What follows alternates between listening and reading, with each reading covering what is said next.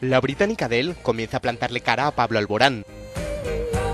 Aunque el joven malagueño sigue dominando la lista de los discos más vendidos en España con en acústico, las superventas británicas ha remontado posiciones esta semana hasta la segunda plaza con 21, el disco más vendido en todo el mundo durante el pasado año. En acústico, el segundo álbum de Pablo Alborán continúa en el número uno del ranking que elabora semanalmente por Musicae, con tres discos de platino en su haber, mientras que su disco debut, con cuatro discos de platino, cae hasta la cuarta posición.